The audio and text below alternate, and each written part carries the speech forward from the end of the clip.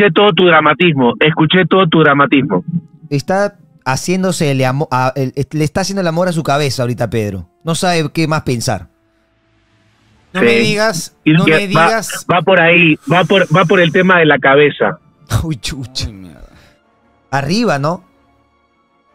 Eh, es el equilibrio, es el equilibrio del equipo. Y ayer, y ayer se, se manejaba ya alguna información sobre la tarde noche acerca de, de, de cómo estaba físicamente el jugador. Suelta.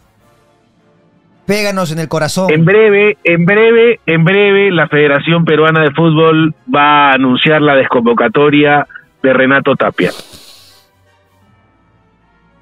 Tapia no juega entonces los partidos contra Uruguay yo- y Brasil por lesión. ¿Cuál es la lesión, Vivar? Tú que sabes todo. Mira, yo yo tengo yo tengo la información que es eh, em, algo muy complicado en el posterior y el jugador lamenta mucho lamenta mucho la situación porque venía venía según sus palabras, ¿ah? estuvimos con él la semana pasada en, Madrid con Raúl Cifuentes y, y me lo va a entender y lo va a entender Pedro también porque eh, Tapia cuando llega a los partidos de septiembre no había tenido partidos completos en Leganés. Ya. Sin embargo, con la selección mete prácticamente en los dos 90 minutos.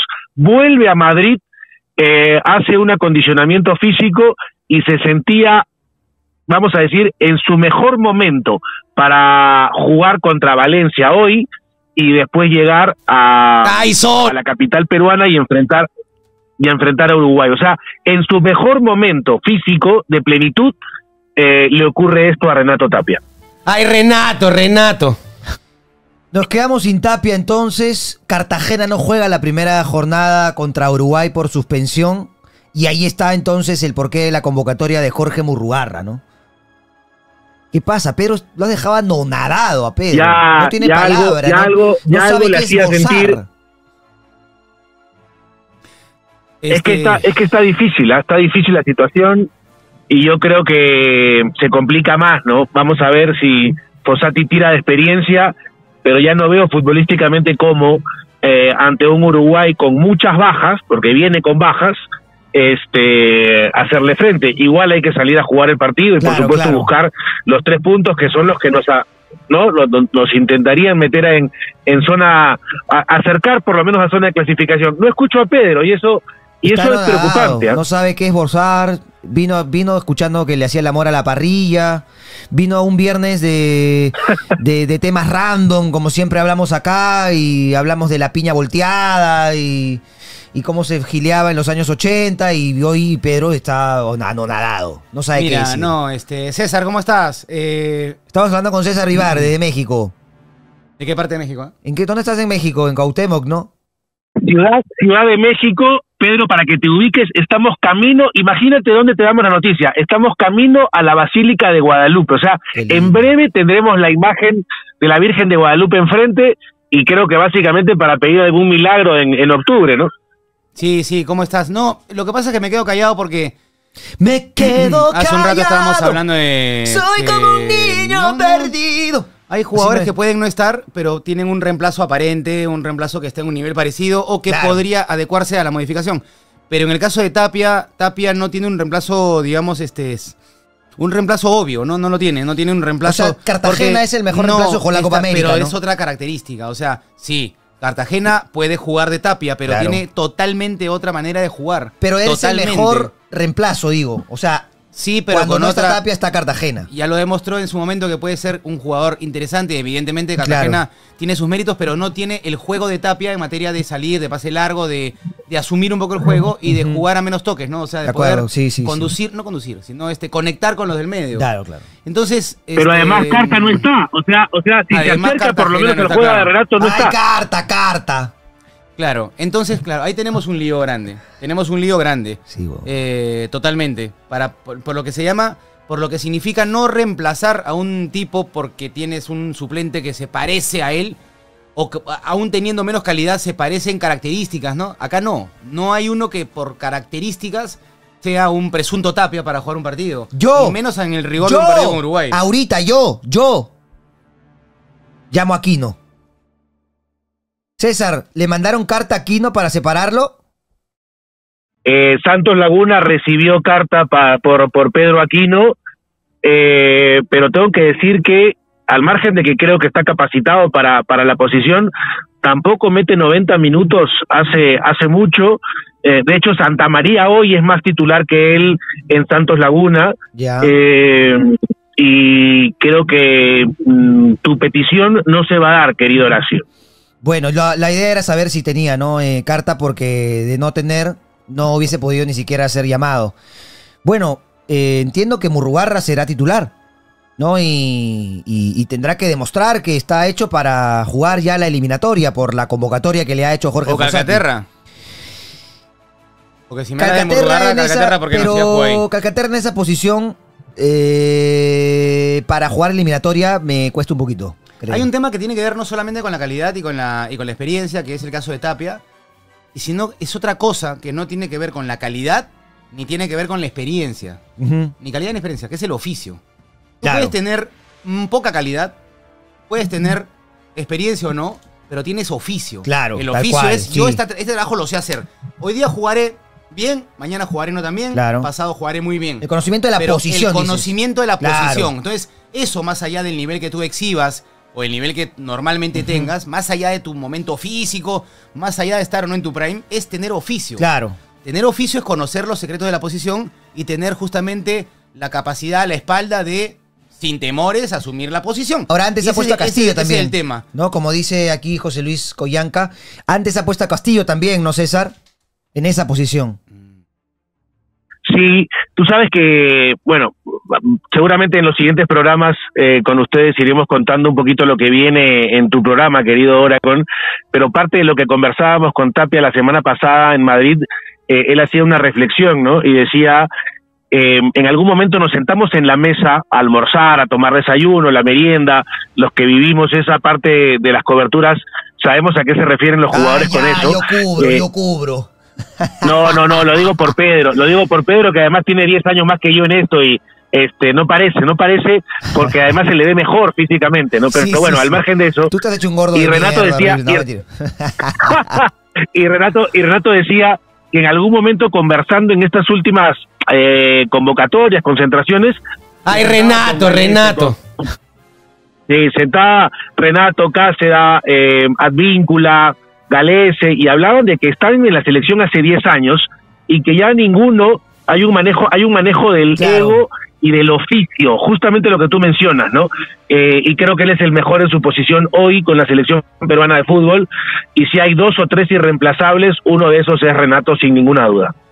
El otro es Galese, el otro es Zambrano. Sí. Después, con todo respeto y Ah, más allá de- podría, podríamos, podríamos, podríamos poner Advíncula en esa, Sí. aunque con el sistema de Fossati eso puede cambiar, ¿no? Claro, o sea, el advíncula que tenemos en la cabeza, por supuesto que es dueñísimo Sí. de la posición. Ah. El advíncula que tenemos en la cabeza eh, es dueñísimo de la posición y está en boca y sería indiscutible. Claro. Pero el advíncula de la selección sí es reemplazable porque en la selección, en el último tiempo, advíncula no han logrado su mejor nivel de Es ninguna manera. verdad, Hace sí. mucho rato que no veo un partido. ¿Hace cuánto rato no vemos un partido de Perú que tú digas, qué bien jugó eh, advíncula? Sí, Dime la última vez. Es verdad, sí. No me acuerdo, tío. No me acuerdo. La Es última verdad, vez. Es verdad, es verdad. Carajo. Hablando de Advíncula, César, tú que sabes todo de los seleccionados, eh, ¿cómo está Advíncula? Porque no viene de jugar, o sea, viene de no jugar con Boca.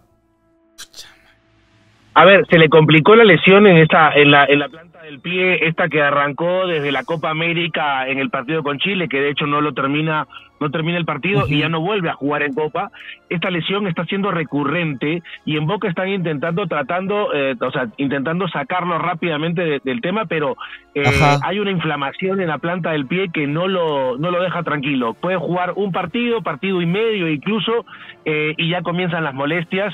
Termina el partido porque es Boca y porque está jugándose eh, cosas importantes.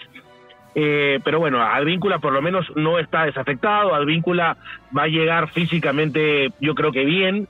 Y, y bueno, este es un dolor de cabeza para Fossati ¿ah? en una en una fecha doble donde además sentimentalmente tiene que ser complicado enfrentar a Uruguay. No va a ser la primera vez Claro, que Fossati sí. enfrente a, a- a Uruguay. Además tiene Este, Bielsa las bajas mencionadas, ¿no? Como la de Darwin Núñez, Josema Jiménez, eh, eh, Rodrigo Betancourt, pero vuelve a su medio campo habitual.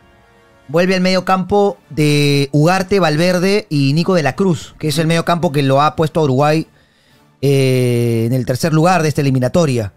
Porque en el partido pasado súmale, no los tuvo. súmale algo, súmale algo, Horacio, Pedro.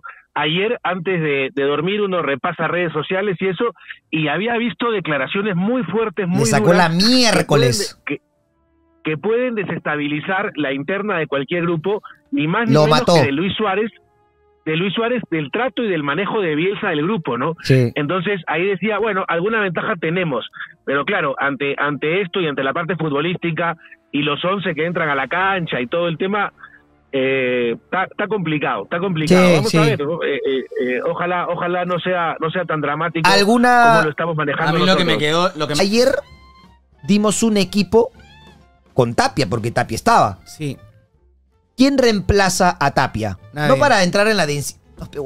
O sea, ya jugamos sin. no, con no. 10 jugamos ya. Lo que pasa es que como idea, como jugamos idea con 10 para lo Pedro, que pasa ¿ah? es que No no, te lo que, olvides, ¿ah? No lo a que pasa es que poner 11, lo que pasa es que la idea del equipo ya no va a ser igual. Es imposible jugar Ah, no, claro. sin Tapia a lo mismo, no se puede. Pero ¿Me ojo, entiendes?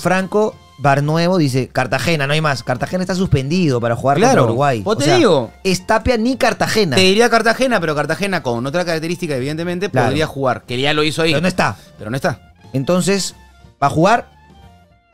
¿Quién crees que va a poner Jorge Fossati? Ya, ya, ya, ya, ya. ¿Quién crees que va a poner Fossati? Murrugarra, Calcaterra, Jesús Castillo, Valera. De repente Jesús, a Max Loren Jesús Castro Castillo, ¿por qué no? Porque Peña no. Peña te da salida, pero no tiene. O sea, no se va a meter entre los centrales, pues hermano. O sea, olvídate. Mira, yo creo que Eh, Murrugarra está llegando recién. Jesús Castillo jugó. Cartagena no está. Eh, Calcaterra le da para el torneo local para jugar en esa posición, pero Sí, meterlo, insertarlo en ese punto, tendría que ser uno que ya está en el equipo, que ya ha estado en el equipo convocado y tal, y acomodarlo. Jesús Castillo es una opción. Para mí va a jugar Murrugarra. O sea, yo creo que Fossati va a elegir a Murrugarra. Ah, sí. Sí, porque eh, es Perú. O sea, no es el equipo grande que dirige Fossati, que ha dirigido. No es eh, la U en este caso, no, no es Alianza. O sea, Peña juega 3-5-2 en el Malmo. Juega de Tapia, o sea, juega de Ureña en la U, juega de Sebastián Rodríguez en Alianza. En esa posición. Solito ahí, delante de los tres centrales. ¿Pero por qué juega ahí? Porque Tapia, Tapia, porque Peña en el Malmo no tiene que marcar ni tiene tantas responsabilidades defensivas. ¿Por qué? Porque Malmo se pasea en la Liga Sí, sí, claro. Entonces, tiene un juego ofensivo en el que él tiene que agarrar y distribuir, tocar, aparecer siempre como opción de pase, o sea, pero en Perú Peña no puede hacer esa labor. De hecho, Peña estuvo sentado acá también cuando lo entrevistamos con Raymond. Él nos cuenta esta información y Raymond le pregunta, ¿y por qué en Perú no? Si jugamos ahora probablemente con Reynoso, en ese momento estaba Reynoso, 3-5-2. Dijo, no, ni hablar. O sea, imposible. En Perú, el 6 tiene que tener, por sobre todas las cosas, marca, recuperación, fuerza física, juego aéreo. ¿Por qué? Porque tiene que meterse entre los centrales a sacarla. Y Peña no te va a sacar una de cabeza. obvio, pero- Entonces, obvio, obvio. el único asociado a estas características que el propio Peña reconoce que no tiene para jugar en Perú, y menos en las condiciones y circunstancias que estamos, es Murugarra. Porque es el más, el más, el que tiene más corte defensivo, por así decirlo. Bueno. Y además, lo conoce y lo Fossati conoce Fossati. de la U. Y a mí me parece que. Lo que te decía ayer, ¿no? Un poco lo que pasó con el comando técnico de Gareca. Confianza. O sea, no está este, no está el otro. Y lo has llamado a Murugarra, ponlo. Dale la confianza. O sea, que se sienta desde hoy confiado de que va a ser un gran partido. Y que va a agarrar a patadas a Valverde y que lo- se lo- no se lo va a achicar y no importa el tamaño. Pum, no importa si juega en el Madrid, no importa. Confianza. El gran ejemplo de la época de Gareca era a Araujo le dijeron que iba a marcar a Suárez y a Cavani, le dieron los números, le dijeron tú puedes marcarlo y Araujo jugó bien. Con ocho años menos de lo que tiene hoy. O sea, chivolo. Araujo jugó en la selección sub-20 en el 2013, o sea, era chivolo. Tendría 22 años, ¿no? Contra Yar, Suárez del Barcelona, etc. Entonces, si ya está, dale la confianza y que juegue. Y punto, mentalízalo y ya está. Para adelante. No hay que buscar eso de que ya, por ejemplo, ahí dice Job Linetti, Garcés de contención. No. A mí me gustaría ver a Garcés de contención, pero en alianza. Porque va a tener juego, va a tener recuperación, pero porque además Alianza propone y es normalmente el que tiene la pelota. Pero en la selección, ya experimentos no van. ¿Cuántos jugadores estarían fuera de posición si pone algo distinto ahí? Puede ser el volante central, puede ser el, inter, inter- el interior, ahora de repente un derecho por izquierda. O sea, ya demasiados cambios de, poco, de lo poco habitual para enfrentar a una selección como Uruguay que está bien cuajadita, ¿no? Sí, ya no jodimos ya. te lo digo, te digo lo que pienso. O sea, no juguemos. No, no juguemos, no. Hay que defenderla, pero estamos. O sea, tras.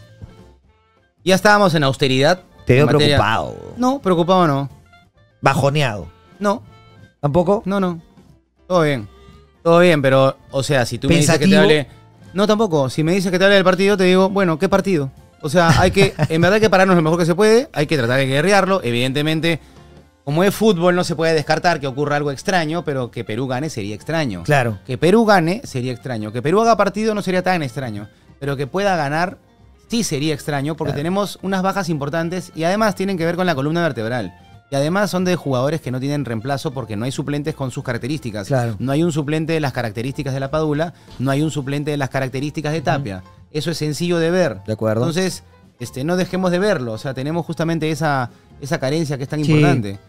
Así que bueno, tranquilidad, ¿qué vamos a hacer? O sea, ya no, ni te mates especulando porque no tenemos tampoco de dónde especular. Bruno, R- Bruno no Rojas. tienes de dónde especular. Bruno Rojas dice, ya no hablen de la selección. No hay nada que hacer. ese, está, ese está de tu lado, creo. ¿Sabes qué? Lo único que O sea, hay mucho jugar, que hacer, Lo que, pero- eh, claro, en el corto plazo es bi- bien difícil. Lo que está, lo que está del lado peruano, si quieres, y estas cosas no son eh, irrelevantes, Sí. es que Suárez ayer ha dicho el vestuario de la selección uruguaya está incómodo, está jodido con Bielsa. Sí. Y cuando esas cosas pasan, no es que van a jugar mal por eso, pero esas, esos este, climas internos hacen que el equipo no saque su mejor versión. Claro. Y está bueno que no saque Uruguay su mejor Sí, versión. sí, sí. No digo que van a jugar en Pero- contra pero a no digo veces- que van a jugar en contra de Bielsa, Pero pero, a veces no es el ambiente, Mm. son los jugadores, ¿no? O sea, yo creo que Valverde ju- jugando en el Real Madrid, a la hora que entra a la cancha, No, no, está bien. fútbol, está bien. Nico de la Cruz Lo igual, que- Ugarte Lo igual. único que digo, lo único que ¿qué dices? es Cama, que- cama, dices. No, nada que ver. ¿Qué, pues cama? imagínate, ¿tú crees que van a regalar un cuarto de punto a los uruguayos para que saquen a Bielsa? Nada que ver. Tú Lo que te digo, para desestabilizar. No, Va a no. haber cama en No, Uruguay. nada que ver. Habló Suárez, mañana Uruguay Oye, sale a perder. Oye, los uruguayos tienen tanta espalda, Valverde tiene tanta espalda, que posiblemente no descarte que mañana Valverde le toque la puerta a Alonso, que es el presidente de la Asociación Uruguaya de Fútbol, y le diga,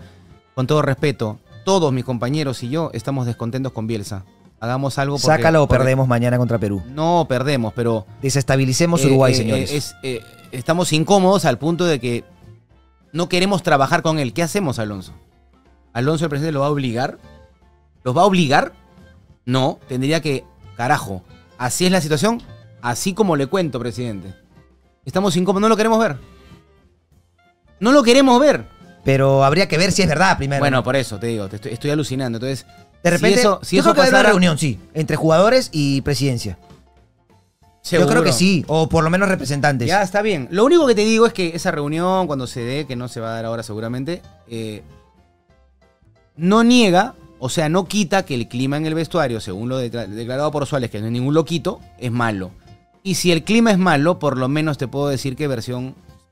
La versión uruguaya no va a ser la mejor. Pero depende Puede ser buena, ahí, ¿no? puede ser buena y te ganan igual, ¿ya? Pero no es la mejor versión porque están jodidos por dentro, están molestos, están asados. Claro.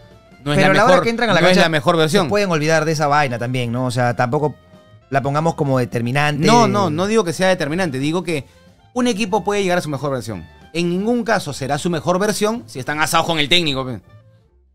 Maño, estarán incómodos, con cara de culo, o sea, están sí. en otra, en otra cosa. Ahora, Uruguay tiene que recuperarse y probablemente vea en Perú la mejor manera de volver a ganar, ¿no? También es verdad.